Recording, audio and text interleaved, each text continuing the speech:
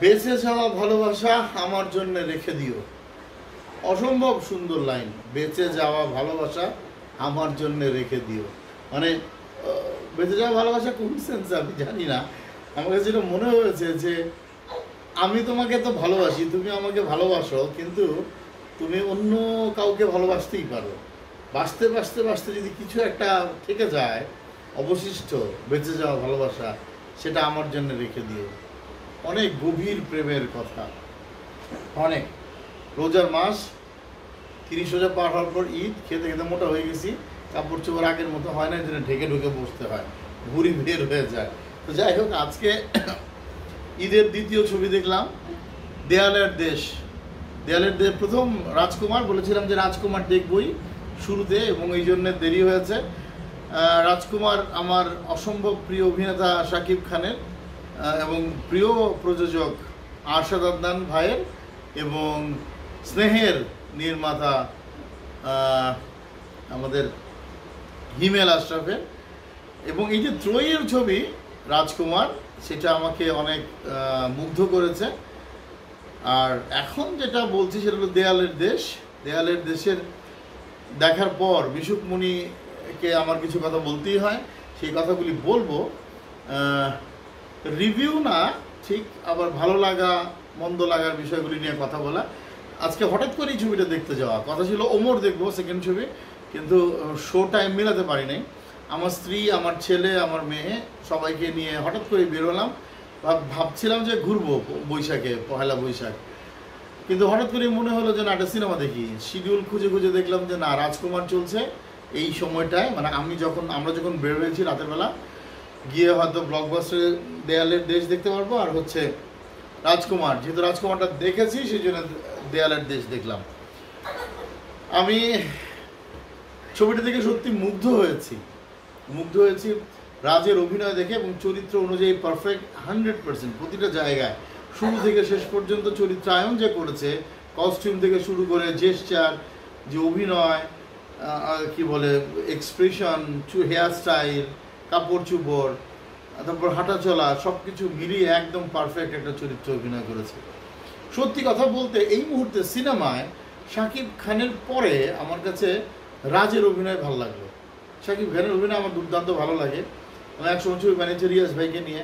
দারুণ ভক্ত আমি রিয়াজ ভাইয়ের অভিনয়ের। তারপর শাকিব বিজ্ঞান নিয়ে আমি ছবি বানিয়েছি, দুইটা। তো তারও ভক্ত, সে এখন সুপারস্টার এবং এরপর রাজের অভিনয় দেখে আমি মুগ্ধ হলাম। সত্যিকার অর্থেই, এত ন্যাচারাল অ্যাক্টিং এবং ন্যাচারাল গেট আপ সব কিছুই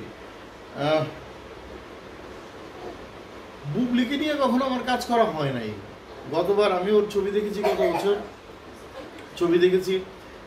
প্রহেলিকা, অনেক ভালো অভিনয় করেছে। কিন্তু দেয়ালের দেশে ওর অভিনয় দেখে মানে আমি খুব সারপ্রাইজ হয়ে গেলাম। মানে দুইটা চরিত্রর, একটা ডাইমেনশন চরিত্রের মধ্যে, একটা চরিত্র ও বেঁচে থাকা মেয়েটি যে এই এই জীবন যুদ্ধে সে লড়াই করছে, ভালোবাসার সাথে সম্পর্ক সব কিছু মিলিয়ে যে একটা ব্যাপার প্রেম, পাওয়া না পাওয়ার যে একটা ব্যাপার আছে, খুনসুটি। আবার দেখেছি যে যখন একটা ডেড বডি আমার মেয়েটার আসলে খুব ঠান্ডা লেগেছে, ওই কাশছে সেই জন্য হয়তো আপনাদের শুনতে ডিস্টার্ব হচ্ছে বাট কিছু করার নাই। ও ওই পাশ থেকে ঘাসাঘাসি করছে।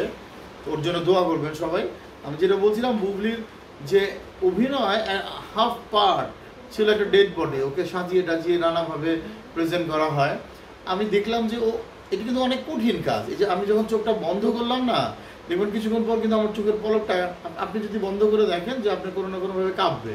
আপনার নিঃশ্বাসটা বন্ধ করে রাখলে যখন দেখবেন এই জায়গাটা একটু কেঁপে ওঠে, নড়ে ওঠে এবং এই এই নাকটা একটু ফুলে ওঠে।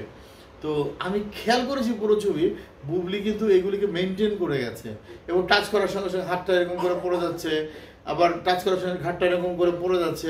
এটা এটা এটা ক্যারেক্টারাইজেশন আমার দারুণ লেগেছে বুবলি। তুমি অনেক ভালো অভিনয় করেছ। তোমাকে অসংখ্য ধন্যবাদ। আমি আসলে তোমার অভিনয় দেখে মুগ্ধ হয়েছি।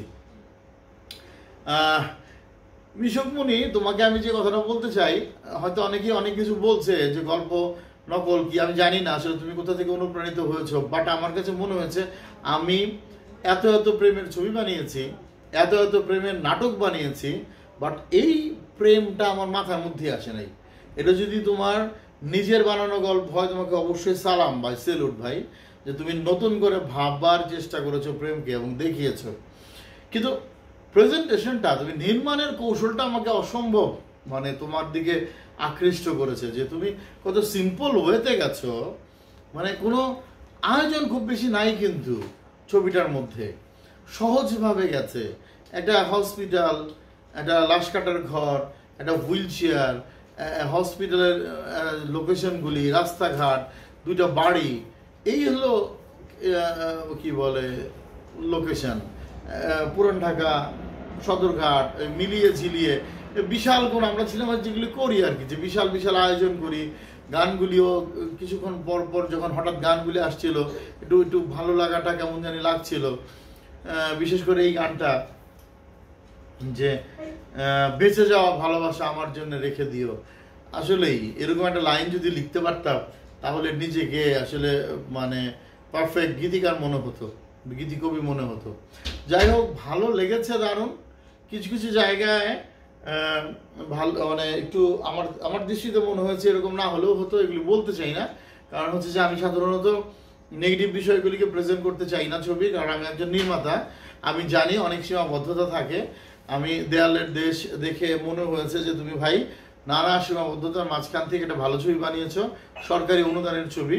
সেই সরকারি অনুদানের ছবি মনে হয় না এই ছবিটা দেখার পর। আবার এই ধরনের ছবির দর্শক কিন্তু আমাদের দেশের কম। এটা তোমার দুর্ভাগ্য, মিশুক। তা না হলে দেখতে যে ফাটে আর ফেলতো হলে। তারপরেও ভালো যাচ্ছে যতটুকু ভালো যাচ্ছে এটা এটা আশার দিক যে দর্শক নানা ধরনের ছবি দেখছে।